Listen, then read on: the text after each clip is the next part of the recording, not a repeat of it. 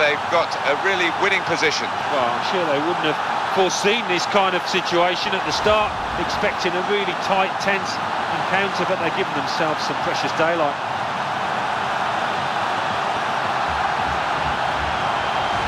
Plenty of goals for